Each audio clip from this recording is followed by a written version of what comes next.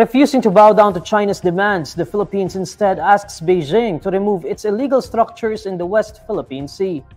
In a statement, DFA spokesperson Teresita Daza says the country calls on China to remove all illegal structures and cease its reclamations in the West Philippine Sea. She also says China should be accountable for the damages caused by these illegal activities pertaining to China's structures in Panganiban Reef, internationally known as Mischief Reef. Daza notes that Panganiban Reef is now a militarized artificial island due to China's actions.